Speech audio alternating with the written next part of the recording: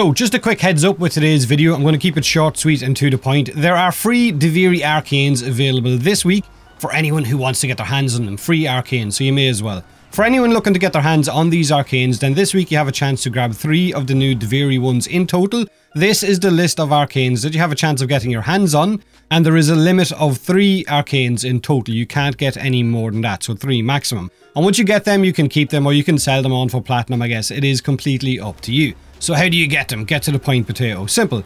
Warframe's international channel on Twitch is streaming on Wednesday the 10th at 3pm ET, and you can get one arcane simply by watching it for 45 minutes.